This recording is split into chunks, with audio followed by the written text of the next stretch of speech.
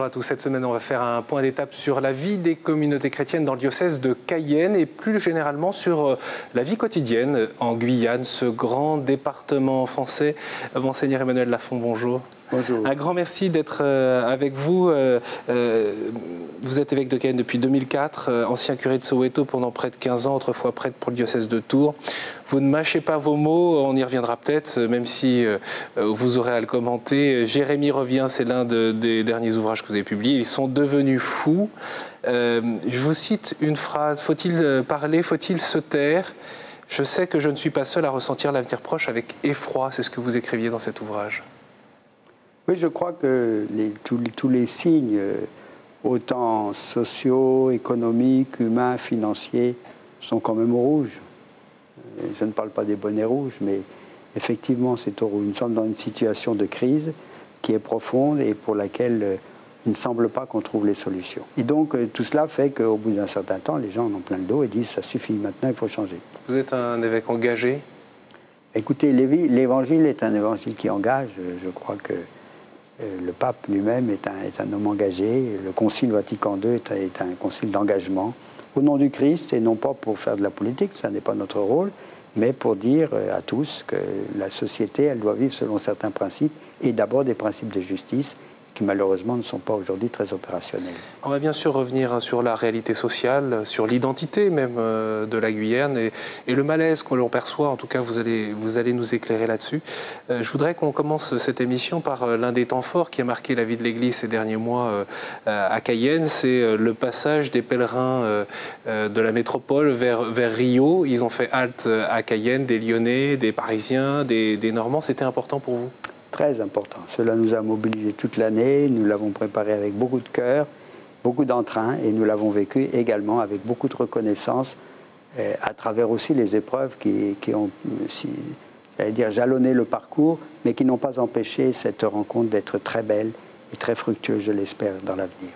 Les pèlerins des GMJ ont fait halte plusieurs jours, logés dans les écoles, fêtes, célébrations rencontres, épreuves, vous l'avez dit aussi, ont ponctué ces journées dans votre diocèse. Je vous propose euh, de retrouver les pèlerins des JMJ dans l'un des quartiers de, Cayenne euh, lors d'une mission, une bonne occasion d'aller à la rencontre euh, de la population locale. C'est un reportage de Coraline Salvoche.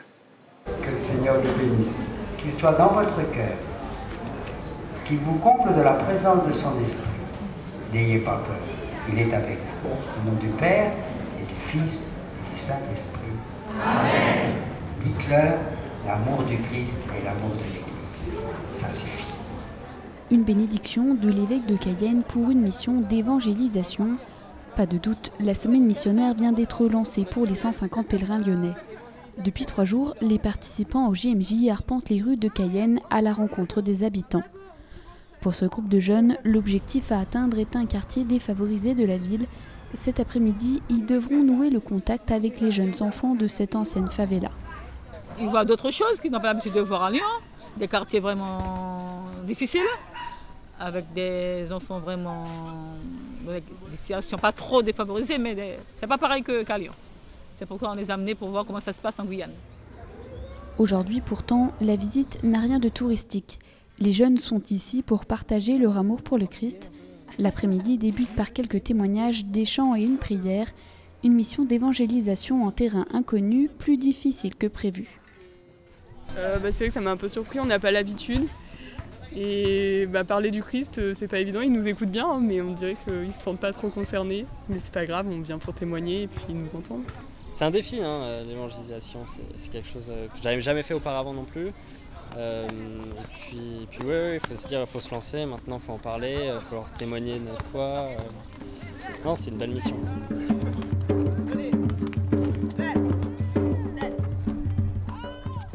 Témoigner dans un quartier pauvre, faire du porte-à-porte ou tout simplement découvrir la diversité de l'Église.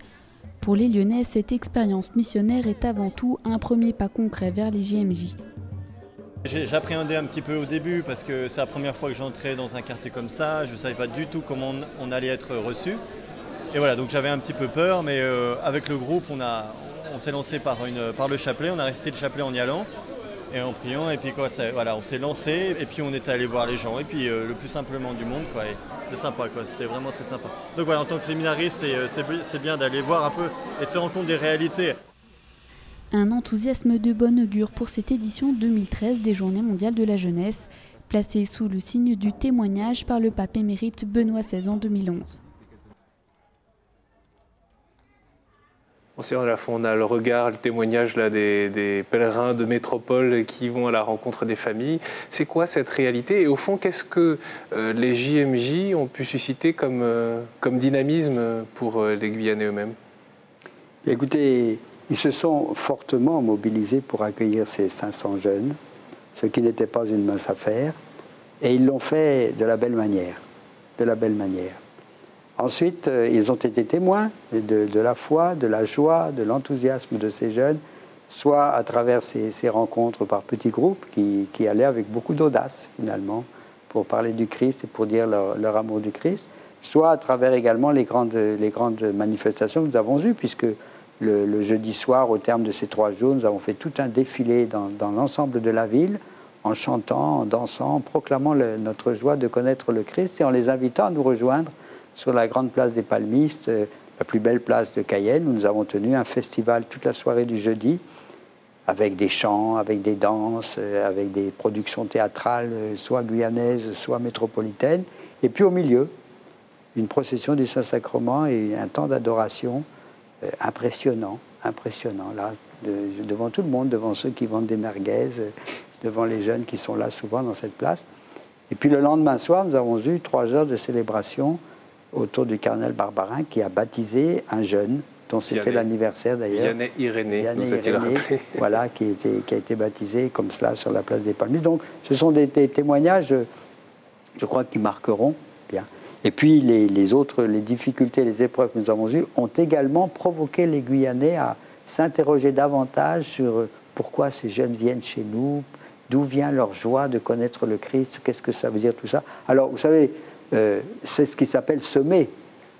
Alors, euh, dans la parabole du semeur, euh, dans Saint Marc, au chapitre 4, vous semez, bon, ben, vous n'êtes pas maître de là où la semence tombe. Ça peut tomber sur les rochers, sur les rocailles, dans les épines et dans la bonne terre. Et de toute façon, les, les, paysans le savent, les semailles, on envoie la récolte 8 ou 9 mois plus tard, mais pas le soir même. Par conséquent, ce que cela va produire, c'est en grande partie le secret de Dieu et aussi la capacité que va avoir l'Église de Guyane de continuer ce témoignage-là. Oui, parce que la question des jeunes, c'est l'une des priorités que vous avez fixées dans votre lettre pastorale à la suite de tout un travail national. Les jeunes, les vocations, euh, la famille, euh, euh, la catéchèse. Pas compliqué. La moitié des Guyanais n'a pas 23 ans.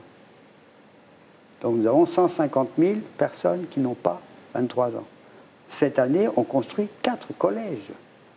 Malheureusement, le conseil régional n'a pas l'argent pour construire les deux lycées qu'il devrait construire, si bien que, de l'aveu même du recteur, la rentrée 2014 va être très difficile car nous n'avons pas les locaux pour accueillir ces jeunes qui vont passer du collège au lycée. Et de la même manière, ces jeunes, si l'Église ne s'intéresse pas à ce qu'ils sont, à ce qu'ils vivent, à ce qu'ils espèrent et à ce qu'ils craignent, elle n'a rien à faire en Guyane.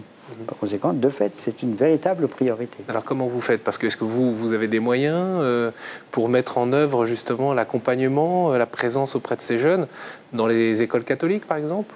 Nous avons trop peu de moyens. Mais bon, euh, avec les moyens que nous avons, nous essayons d'être dynamiques et, de ne pas avoir peur. Nous avons une école catholique qui a doublé son nombre d'étudiants d'élèves depuis, depuis six ans, mais on est passé quoi, de 2005 à 5000. Pas, ça, n'est pas énorme. Bon, on est compte, c'est une petite portion des jeunes qui sont à l'école. Mais nous continuons, puisque nous sommes en train de, construire un collège agricole, un lycée agricole, dis-je, un collège à Saint-Laurent-du-Maroni.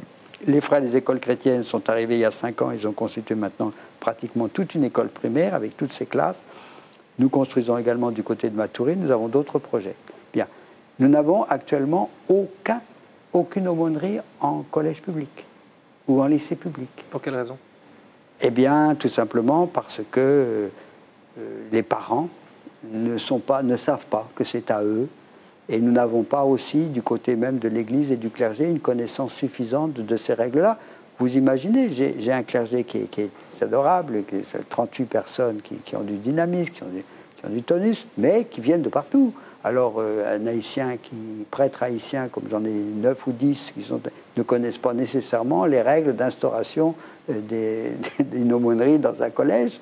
Donc tout cela fait que, et puis ils ont d'autres priorités, d'autres sont 38 prêtres pour 300 000 habitants, ça n'est pas énorme, vous allez, vous allez reconnaître. Hein. Par conséquent, de fait, il y a des tas de choses qui, pour lesquelles il faut prendre du temps. Nous avons décidé en synode d'instaurer ces collèges et ces lycées. Bon, on se trouve devant la nécessité d'aider les parents à découvrir leurs responsabilités dans ce domaine et ça va prendre du temps. Mmh. Donc en gros, c'est une église en chantier. Euh, Ah, quand vous dites euh, découvrir la mission, au fond, quand on voit là, les Lyonnais euh, faire leur mission d'évangélisation, c'est quelque chose que les Guyanais ont aussi à apprendre? Oui, alors nous avons, nous avons des organisations et des groupes déjà. J'ai une communauté Shalom qui nous vient du Brésil, que- qui est arrivée d'Aparecida et qui fait déjà ce travail d'évangélisation. Nous avons également une communauté nouvelle qui s'appelle le Feu de la Source, qui est là depuis 20 ou 22 ans, qui a un travail, qui fait un travail énorme auprès des jeunes, mais c'est en dehors des aumôneries. Bon. Donc il y a déjà des choses qui se passent, il y a déjà des choses qui se passent, mais il faudrait les multiplier encore, et c'est à cela qu'il faut qu'on s'attaque. Donc vous avez de l'impatience. L'impatience, non, mais on voit bien que le- la, la moisson est abondante. Comment concrètement, euh, parce que ça peut ressembler, votre propos finalement, il ressemble beaucoup à ce qu'on peut entendre, même si le contexte, le climat est différent, euh, peut-être même les conditions de vie euh, et, le mode de vie, j'allais dire d'un point de vue économique, est différent de, la métropole. Euh, comment on structure concrètement la mission de l'Église pour qu'elle grandisse? Qu'est-ce qui est important à vos yeux? Ce qui a été important d'abord, c'est ce synode.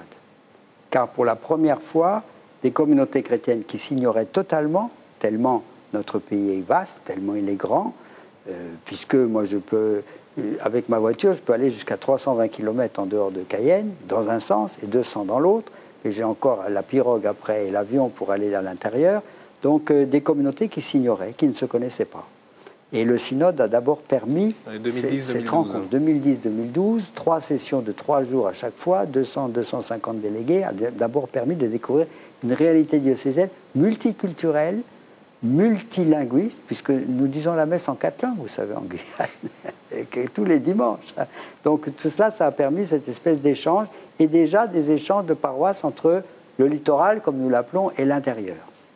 Ça c'est une première chose. La deuxième chose pour laquelle la structure, eh bien, elle va se faire à travers, si j'ose dire, une mise en place dans chaque paroisse de véritables conseils paroissiaux. C'est un chantier, c'est un chantier toujours parce que nos paroisses sont petites, euh, elles sont très dispersées. Vous prenez une paroisse comme Irakubo, c'est une paroisse C'est où? On est où? Irakubo, on est à 150 km de Cayenne. Il y a à 10 km un village amérindien, à 30 km un autre village amérindien. En tout, ça fait peut-être 3000 personnes. Rassembler un conseil pastoral avec euh, un véritable délégué à la catéchèse, un délégué aux vocations, un délégué à l'action caritative, un délégué à la communication, c'est une bataille constante, vous comprenez Donc, ça passe vraiment par euh, la conscience de chaque communauté, chaque communauté paroissiale qu'elle a tout ce, ce travail-là pastoral à, à vivre, bon, à mettre en chantier, avec l'aide de la, de la lettre pastorale post-synodale. Alors, nous le faisons par étapes, puisque l'an dernier, cette lettre a été lue, commentée dans toutes les paroisses autour d'un triduum. C'était de trois jours de prière, d'adoration eucharistique, de conférences sur la lettre Il y a pastorale. toujours l'adoration eucharistique, ou souvent en tout cas dans ce que vous proposez. Oui, parce que vous savez, c'est Dieu qui, Dieu qui nous conduit.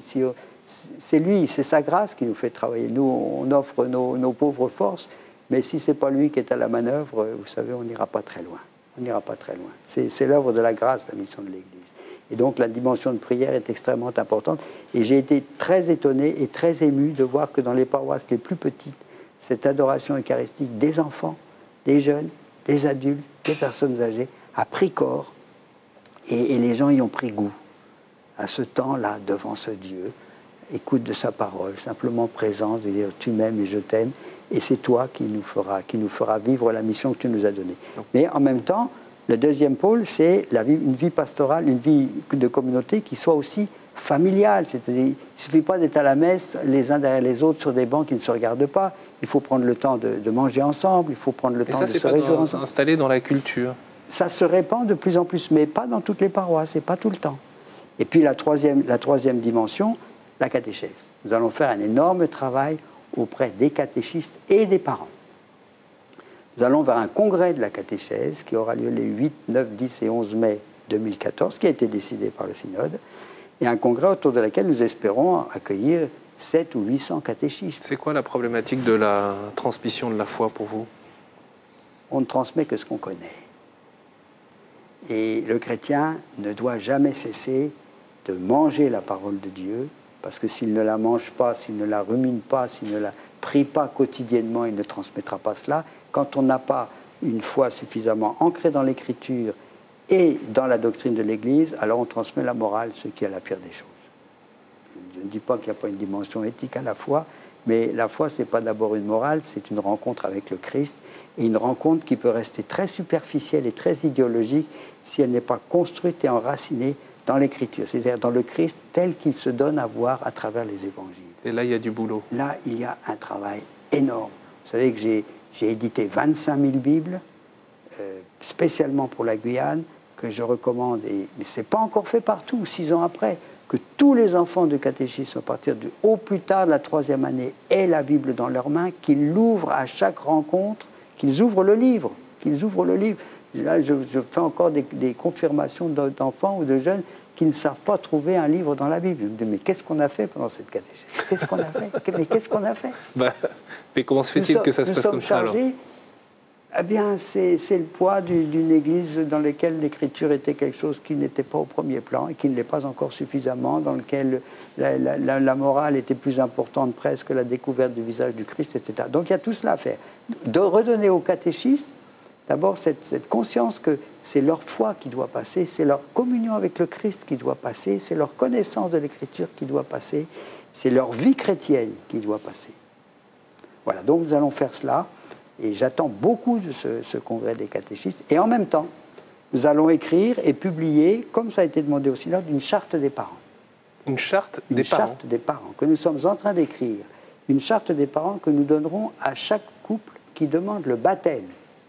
Parce que l'engagement des parents à faire connaître le Christ commence le jour du baptême. Mais est-ce que tout le monde euh, là-bas, c'est encore traditionnel, demande le baptême pour ses enfants? Il y en a encore beaucoup, mais ce n'est pas toujours des couples qui sont mariés, ce n'est pas toujours des couples qui sont ensemble, mais il y en a encore beaucoup, il y a encore beaucoup de baptêmes. Donc, une charte vraiment pour dire, ben, vous, vous, donnez, vous demandez le baptême pour votre enfant, c'est dire que vous allez le faire grandir dans la connaissance que Dieu fait partie de votre famille, que Dieu est mmh. quelqu'un auquel on parle régulièrement, que l'on écoute régulièrement, dont on reçoit la grâce et la force par les sacrements. Donc une charte qui va aider les parents à connaître leurs responsabilités jusqu'au moment où ils sont en catéchisme et aussi pendant la catéchèse. Parce que nous avons encore trop de cas où un père ou une mère apporte l'enfant en voiture pour qu'il soit à la messe pendant qu'eux vont faire le marché. C'est nul. Et c'est criminel presque pour l'enfant. Parce que l'enfant, il est complètement pris entre une heure par semaine où on lui dit que Dieu est important dans sa vie et une vie de famille dont Dieu est totalement absent. Qu'est-ce que vous voulez? Vous vous étonnez après qu'à la fin du catéchisme, il s'en aille? Mais, j'en ferais autant s'il était à sa place. Alors on voit bien, là, on est plongé dans, dans, le travail missionnaire, au fond, la prise de conscience de ce que ça veut dire que d'être baptisé, de partager la foi, de la vivre, d'en témoigner. Il y a une manière aussi dont vous en témoignez euh, euh, en Guyane, et d'ailleurs ça dépasse largement la Guyane, euh, qui est aussi l'engagement dans la société. Euh, je, cite ce, petit fascicule que vous venez de faire paraître, euh, ou plutôt c'est l'association, euh, vous allez me dire, Lamnen Yana, qui vient de, publier Ils sont l'avenir de la Guyane, protégeons nos enfants. C'est sur les abus sexuels sur mineurs. Alors ça peut surprendre au fond que la signature de, la préface d'avant-propos soit Emmanuel Lafont, l'évêque. Mais pourquoi vous avez fait ça? Racontez-nous. Eh bien parce que nous avons un comité diocésain justice et paix nous avons une conférence épiscopale des Antilles euh, Justice et Paix, dont je suis le, président, et qui s'est aperçu que dans la vie sociale des gens, il y a deux problèmes majeurs.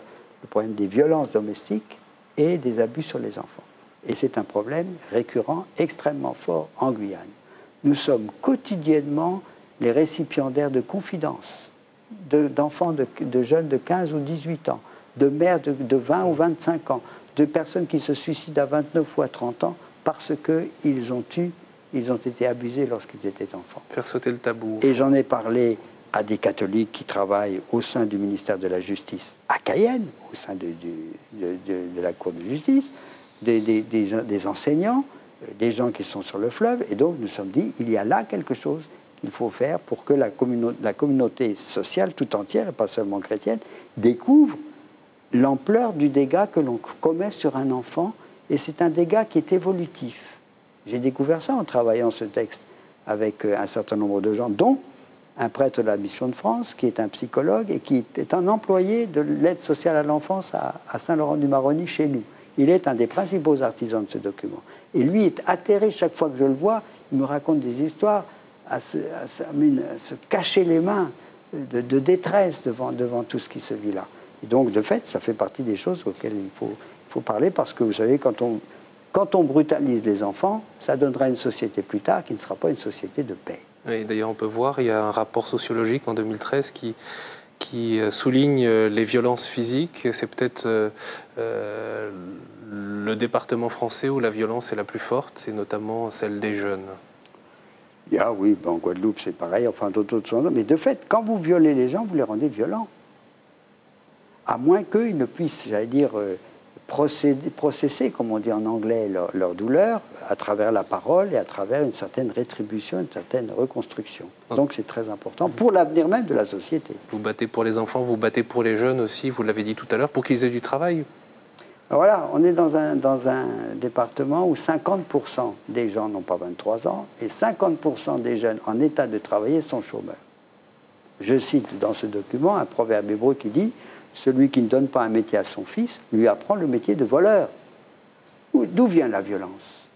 De la frustration, de ne pas être compris, de ne pas se sentir utile dans la société, de ne pas avoir les moyens de vivre dans une société qui est une société d'opulence.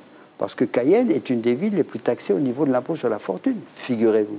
Il y a des fortunes très fortes en Guyane. D'ailleurs, nous avons de l'or, ce qui est un autre problème. Mhm. dont je pourrais parler également, mais c'est dire que l'injustice sociale est facteur de violence. Et que, comme le dit euh, Jean-Marie, euh, un des prêtres éducateurs de Lyon, la violence, c'est souvent le langage de celui qui n'en a pas. Justement sur ce point, Jean-Marie Petit-Clair. Quelle est votre réflexion? Parce qu'on parle là de, de, la problématique pour les jeunes, de l'emploi. Mais d'où viennent les solutions s'il n'y a pas de travail sur place? Du coup, quel est votre regard, vous, maintenant, en étant évêque de Cayenne, mais en ayant connaissance, si je puis dire, en ayant circulé aussi beaucoup en métropole et ailleurs? C'est le regard que je porte un peu à travers le livre Jérémie revient, ils sont devenus fous. Si nous voulons recréer l'emploi pour tous, il faut changer notre rapport au travail. Il faut changer notre rapport à l'argent et il faut changer notre rapport aussi au loisir. Euh, c'est donc, donc un changement total de paradigme. On a tout essayé pour recréer de l'emploi, sans changer la nature du système économique, sans changer les règles du libéralisme qui favorise un petit nombre au détriment du plus grand nombre. Mais tant qu'on ne changera pas ces règles-là, on ne trouvera pas de solution.